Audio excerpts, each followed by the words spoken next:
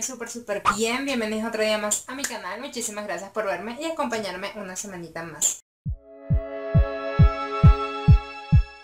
Lo primero que tienes que tomar en cuenta es que si todavía no tienes un portafolio que mostrar, pues te recomiendo que abras tus redes sociales como Community Manager o que abras una red social como una agencia de publicidad. Porque en algunas oportunidades cuando estamos comenzando no tenemos un portafolio, entonces lo mejor que podemos hacer es mostrar algunos casos de éxito, que este éxito puede ser tu misma cuenta como Community Manager, como marca personal quizás, o como agencia de publicidad. ¿Qué sucede si Em, solamente tienes una sola referencia y la persona o el cliente potencial quiere ver como más referencias. Te recomiendo que al inicio abras diferentes cuentas, es decir, una como marca personal, por ejemplo, otra como agencia de publicidad, por ejemplo, y otra de algún amigo o alguien que conozcas que esté también comenzando y no sepa mucho de manejar redes sociales, tú dile que te la cuenta. Obviamente si la persona no tiene presupuesto no le cobres, hazlo simplemente como un favor porque al final esto te va a beneficiar directamente a ti porque vas a poder mostrar un portafolio. Cuando tengas esto, trabájalo como si de verdad fuese un cliente, es decir, vas a trabajar estrategia, vas a trabajar marketing de contenidos, redes sociales, publicidad, todo lo que enfoca es ser community manager y manejar una cuenta de un cliente, esto lo vas a hacer para ti y para las otras cuentas que tienes. Una vez hecho eso, ahora sí vamos con el portafolio. ¿Qué te recomiendo? Primero que si tienes la posibilidad de pagarte una página web, págalo para que puedas colocar allí tus trabajos o para que puedas colocar allí los clientes con los que has trabajado, es decir, o sea, todas las cuentas que vayas a manejar, porque al, final pues vas a hacer un trabajo y colocas eh, siempre una descripción de que, bueno, este cliente comenzó de esta forma y yo le ayudé de esta forma, ¿vale? Es como más o menos una reseña de qué hiciste con cada cliente o qué haces con cada cliente si todavía son tus clientes actuales, ¿vale?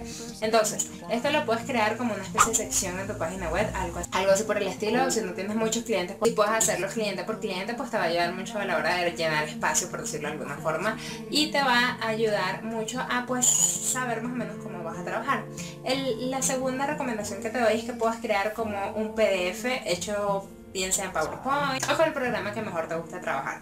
¿Cómo puedes hacer esto? Pues creas em, un quién eres, obviamente esto es súper importante porque a, lo mejor a la persona pues le interesa tu portafolio pero no sabe muy bien quién eres y qué es lo que haces, entonces siempre es importante colocar tu elevator speed. Lo segundo es que coloques ya tus casos de éxito con los clientes que has trabajado, bien sea si fue por proyecto, qué hiciste también con cada cliente, qué tipo de programas manejas, qué herramientas de analítica manejas, eh, cuál es tu experiencia con cada una de estas herramientas o con cada programa de diseño, entre otras cosillas, ¿vale? Lo segundo que puedes utilizar también es tu Instagram, es decir, tu Instagram o tus redes sociales, mostrar trabajos, casos de éxito, puedes mostrar plantillas de cómo trabajas. Lo otro que sí te recomiendo muchísimo es que trabajes la parte gráfica de los clientes, es decir, ok, ya tenemos cómo es el resumen que hicimos con ese cliente, vamos a explicarle un poquito contexto y todo esto, pero también la parte gráfica es importante. Yo siempre hago algo como esto, que de verdad me gusta muchísimo, muchísimo, porque muestra el trabajo de forma rápida y visual. Es decir, allá ahí ven qué cantidad de seguidores tiene en la cuenta, cómo trabaja eh, ese cliente y si tengo la oportunidad coloco el porcentaje de engagement que tiene en la cuenta. Esto es importante a la hora de que ellos vean cómo interactúo con el, con el usuario. Esto también es importante porque ellos pueden revisar cómo es la interacción con el público en general, cómo interactuamos con el consumidor, si la respuesta del consumidor es buena para el cliente o no. Entonces sí es muy importante también que coloques este tipo de cositas, ¿vale? Entonces yo te voy a enseñar a hacer esto que esto lo hago en Illustrator y también te voy a enseñar a hacer eh, un PowerPoint para que puedas una vez hecho esto, colocarlo dentro de tu PowerPoint, exportarlo PDF y puedas ya tener tu portafolio de servicios, ¿vale? Este video va a tener una segunda parte que va a ser el tutorial para no ser este tan largo. Es importante también que tengas en tu página web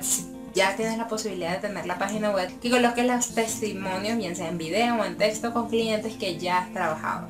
Esto es importante porque te va a dar muchísima mayor credibilidad en tu trabajo y en todo lo que haces. Así que nada, espero que te haya gustado este video. Cuídense mucho, se les quiere un montón, un montón. Y nos vemos la siguiente semana. Un abrazo y un beso a todos. Chao.